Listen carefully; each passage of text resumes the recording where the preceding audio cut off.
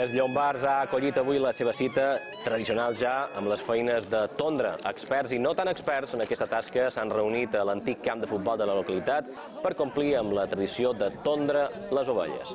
Desenes de persones hi han assistit en un dia de festa tan, de tant de pes a Llombards com la resta d'habitants del municipi de Santanyí, inclosos alguns estrangers, que també s'han animat a agafar les tisores, ben igual que el baldo del municipi, Llorenç Galmés. Xeremies, beure i menjar per poder berenar han completat una jornada de festes Llombards. som de Cala Llombards i venc a la tradició de la festa d'estondre i les meves amigues de Palma venen a posta cada any.